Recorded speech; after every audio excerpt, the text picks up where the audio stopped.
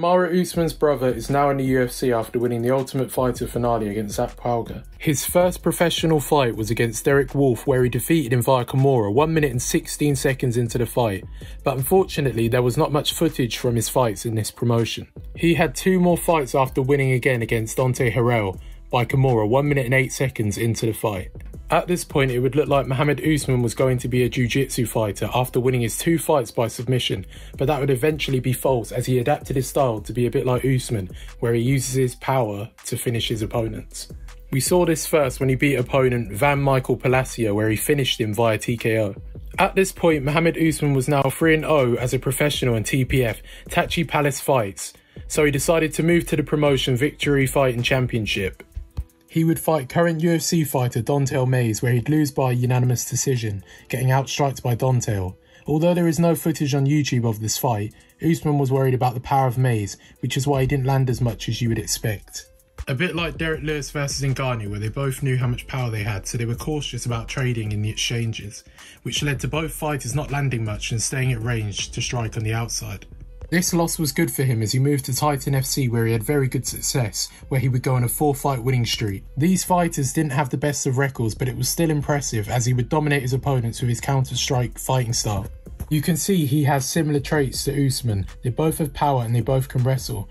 Mohammed Usman is nowhere near as good as Usman at wrestling, but he can still wrestle to an acceptable degree I would say.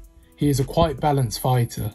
He started this win streak by beating Frank Tate by unanimous decision. Next, he fought Alexis Garcia. Garcia was a fighter who didn't really go to three rounds. He would usually finish a fight in the first or second round. Garcia would win either by TKO, KO, or submission. He only lost one fight before fighting Usman, as he was on a three fight winning streak. He could have been on a six, but he lost one in between. These factors made this look like an interesting bout that would end up with likely a knockout as Garcia had never made it to a decision. The fight would start with the pair swinging wildly with Usman trying to go for takedowns but would struggle to get them. 40 seconds into the fight, Garcia would swing a massive hook, missing, exposing his body for a takedown attempt. Usman would use effective wrestling technique to shoot for a double leg, backing Garcia into the cage, then into a single leg, where he would quickly transition into a power double leg slamming Garcia, landing into the half guard position. Usman began to land strikes to Garcia's body and head on the ground to fatigue Garcia. Two minutes left of the round, Mohammed passed his guard into full mount, where he would posture up and land multiple strikes to Garcia's head. Garcia was taking a lot of shots, so he moved into the back flat position, where he would tap out to punches thrown to the back of the head, which hit him on the side of the head, but it looked like the back of the head. Again, we saw that he could wrestle and he had a lot of power in his hands. Usman took on Reggie Cato on the main card of Titan FC 58 show. He landed a huge overhand that dropped Cato immediately. Usman jumped on for some ground and pound, but the referee was quick to step in and stop the fight as soon as possible. He then fought at Titan FC 63 against Terence Hodges, where he would win by unanimous decision. At this point, he was 4 0 in Titan FC with a record of 7 1, where he managed to go on two winning streaks during that time. Mohammed Usman was becoming a little bit more known as he was now welterweight champion Kamaru Usman's brother and had a good record.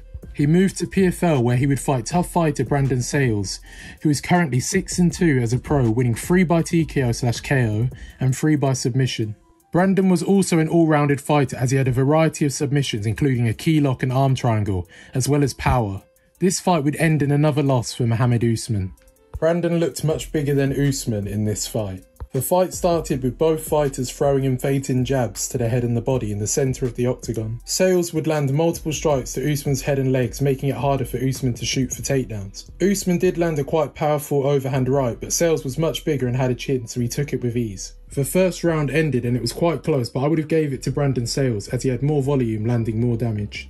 Mohammed just seemed to swing recklessly, hoping to get a KO, but Sayles was very big and had a chin. In the second round, both fighters were trying to land in the pocket, but nobody really fighting on the back foot. Sayles caught Usman with a short left hook, knocking him down to his knees. He began to land hooks and hammer fists to his chin, but couldn't finish him. Sayles caught him with a very tight standing guillotine choke, but Usman found a way to escape. Sayles then knocked him down again, catching him with a static right hook. Brandon started landing ground and pound from full mount. Usman then gave his back to Sayles, leaving him open to a rear naked choke where he would eventually pass out from it. Usman's four fight win streak came to an end, now making him 7 and 2 as a professional. I just believe Sayles was just way better skill wise and more experienced and was way bigger than Usman. He then took a year break from MMA and would join Dana White's Ultimate Fighter TV series.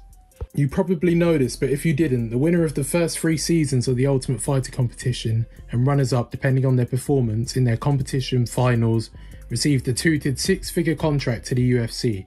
These contracts are specifically three year contracts with a guaranteed first year. Each year consists of three fights. The first year's purse consists of 12k guaranteed with a 12k win bonus, a maximum of 24k per fight. The second year purse per fight is 16k and 16k for a win bonus a maximum of 32,000 per fight. And the third year's purse per fight is $22,000 to show up and 22,000 for a win bonus, a maximum of 44,000 per fight. Although he was coming off a loss, he had a bit of hype about him as he was Kamaru Usman's brother and he had a record of 7 and 2. His first fight in the Ultimate Fighter was against Mitchell Stipe, there was a bit of tension between the two leading into the fight. Stipe was 5 and 2 as a pro and had been inactive. Also, so this was a good fight for Usman. The fight started with Usman on the back foot looking to counter-strike against Stipe. Very similar to how Usman strikes on the feet, especially what we saw in the Colby fight.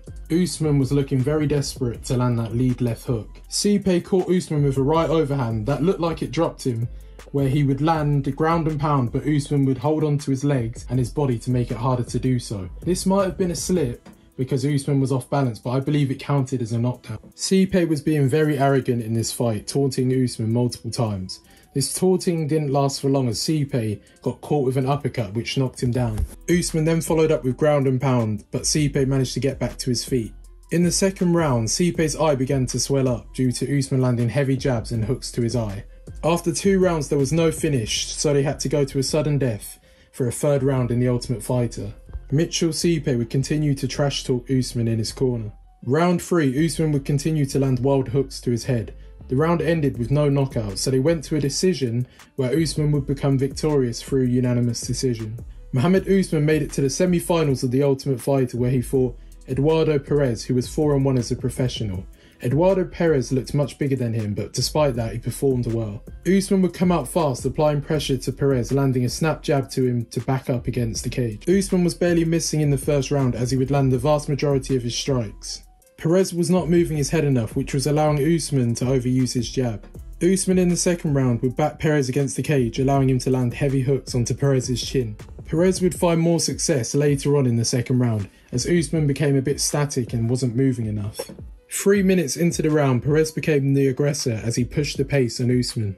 The third round was more of a pub brawl as they would swing in the middle of the octagon, as both of them were desperate for a knockout. The swinging led to Perez being tied as Usman would continue to swing just like Kamaru Usman did against Colby.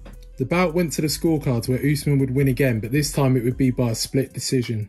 Now that he had won that fight, he was scheduled to fight Zac Pauga at UFC on ESPN Santos vs Hill, he was undefeated as a professional and an amateur. Again, there was a bit of tension between the two during the face-offs. Zac Pauga saying he'll beat him live on television. Usman was the underdog going into this fight as a lot of people believe Zac Pauga would be too skilled for him.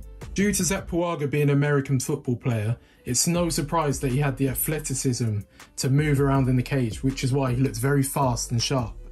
The fight started with Zac Pauga pushing the pace against Usman, missing a heavy right hook. Zac would jump into strikes, leaving his head exposed, but would find good success in the first round. Usman would swing heavy hooks in the first round, but Zac was able to move just in time to dodge it. At one point in the first round, Usman did catch him with a strong left hook, but Zac ate it. Things got heated at the end of the first round as Zac caught Usman with a 1-2 after the bell. I don't know if this was personal or if it was because he was in motion, or if it was because he was angry.